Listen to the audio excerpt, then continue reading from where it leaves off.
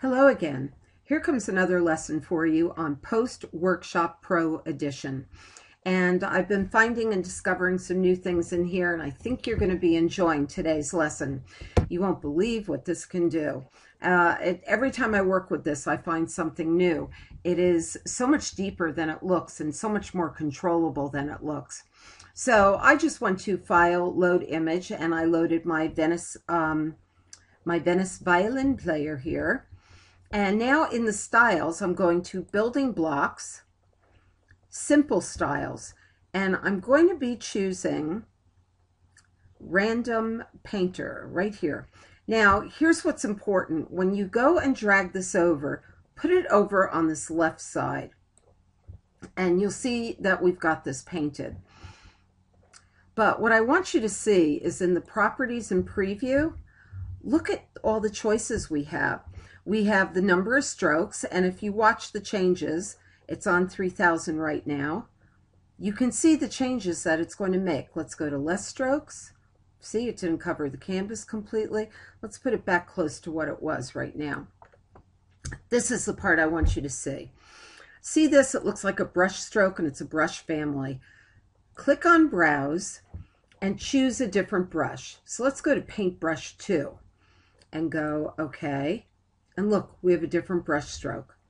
Let's choose another one. Let's go to Browse, and let's go to this round paintbrush. And I haven't done this one before. And look what we have. It looks almost like a sponge painting. And let's choose something from a different family.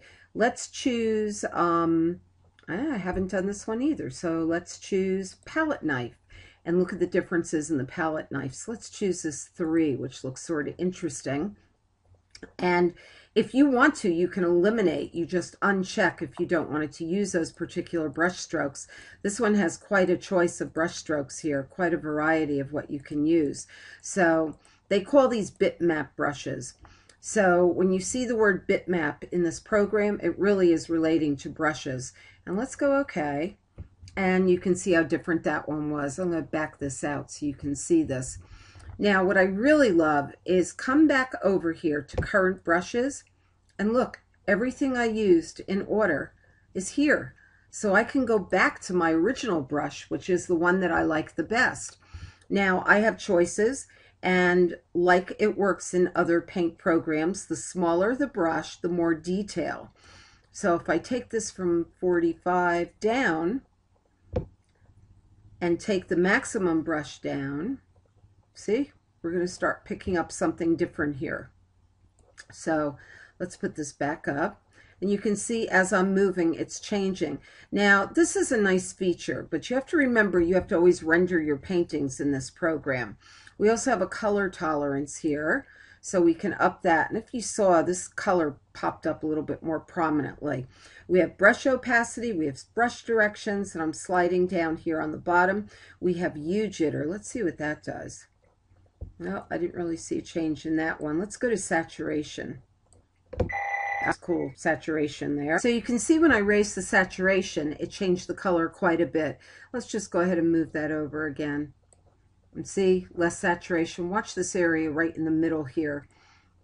And when I bring that back up, see, we have much more color there.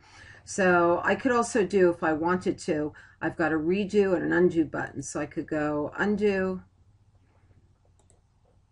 I go to redo and zoom back in on that. So there's all that saturation that I just added. And we have a brightness jitter. Whoa, look what that does. Whew, maybe a little bit too much. Okay, and we have seed value. And you can see the changes that that's making. So you're able to, on the fly here, do these changes and change your brushes. So this is fairly amazing to me, uh, probably because I just discovered it. Now, the next thing I want to do, I'm going to back this out here, is I'm going to go back to my styles, and I'm going to go back to the building blocks, and I'm going to grab this emboss. And what this is going to do, you pull this in and put it on the right side. And this is going to give you your impasto look. And here's my preview. And here is your impasto look to the painting. And you, oop, I didn't mean to move that. hate doing that when I do that. Okay. Um, what you can do here on the emboss, and I sort of just lost the control here. Where'd it go? Um, the image properties comes up and where I'm going to undo that um, emboss and I'm going to bring that in there again. Here we go. Now I've got my emboss property. So I'm going to zoom in on that.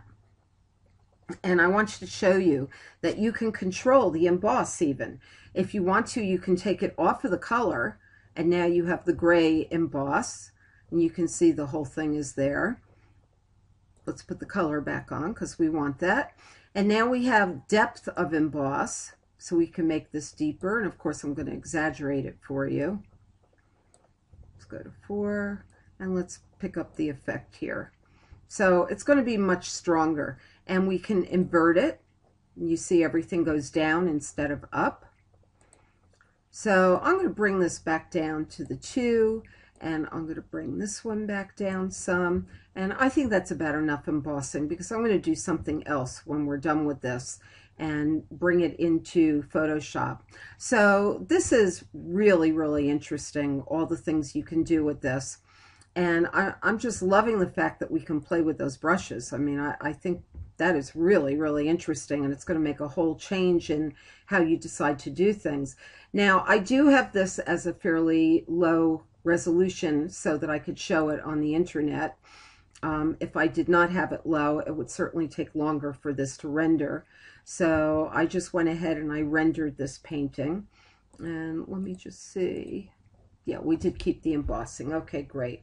And I'm going to go to File, Save As and it's a JPEG. I'm going to make sure it's at the highest.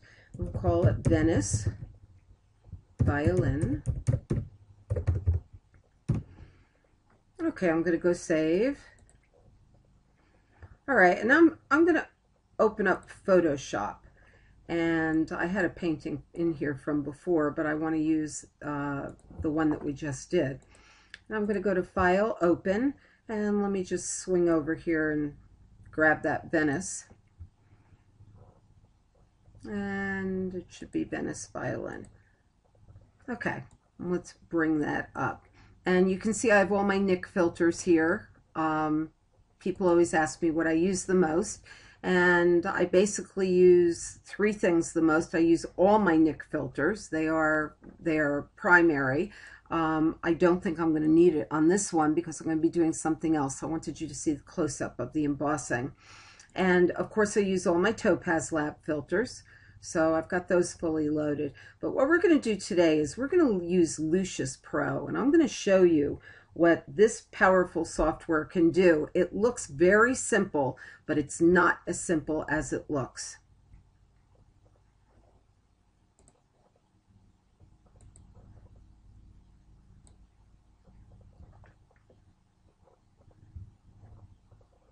So I'm going to show you Lucis Pro. And I really, it took me a little while to learn this program. when you see how simple it is, you're just going to go, duh, I can't believe this was so simple. So it does everything all the other Lucis programs does. You just have to know the settings. But this is what it does the most and what I'm enjoying about it. First, you come over here, click on Split Channels click off display composite image and now you will have a black and white. Highlight the red, bring your slider on enhanced detail down until it looks like you have a better black and white image. It's not so gray.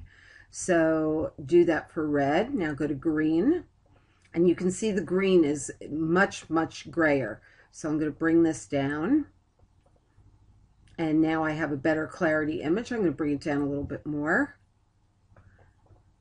And I can see better clarity again. Now let's go to blue. And the blue doesn't look too bad.